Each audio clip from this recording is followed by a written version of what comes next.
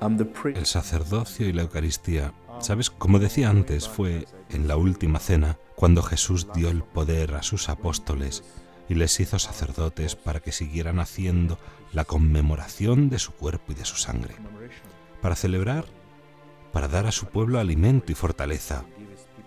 Ahora la Eucaristía, que en griego es acción de oración, es la oración más perfecta, como dice la Iglesia, el culmen de la oración. Y esta es la tarea principal de los sacerdotes, celebrar la misa, la Eucaristía. El sacerdote es el mediador, representa la persona de Cristo, que lleva la oración del pueblo a Dios. Y esto es una tarea muy importante para los sacerdotes, porque es su función principal orar, ser mediador en la persona de Cristo por el pueblo de Dios. Y como la oración es una relación entre Dios y nosotros, ¿cómo llegamos a Dios para darle las gracias? La Santa Misa nos da esta oportunidad.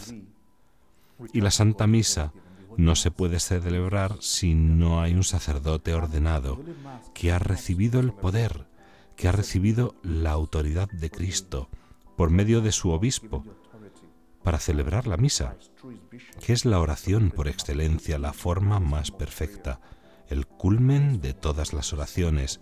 A los sacerdotes les ha sido dado este poder.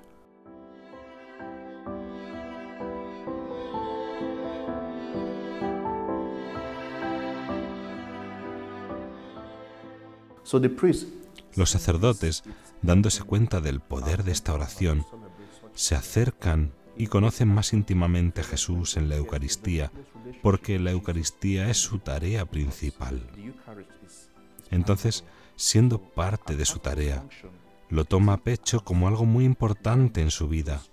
Intenta conocer más a Jesús a través de la oración, por el oficio que es la oración de la Iglesia, que santifica al sacerdote, y también su oración personal, en adoración delante de la Eucaristía, en privado, en público o en la iglesia.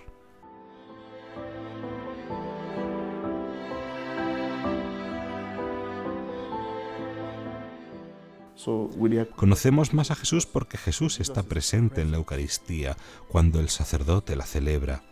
El sacerdote hace que Jesús baje al altar en la Santa Misa. El sacerdote se familiariza con Jesús y hace el esfuerzo de ser santo. Y claro, es una relación de dos, Jesús y el sacerdote. Como sacerdote, me ha sido dada la autoridad de celebrar la Santa Misa.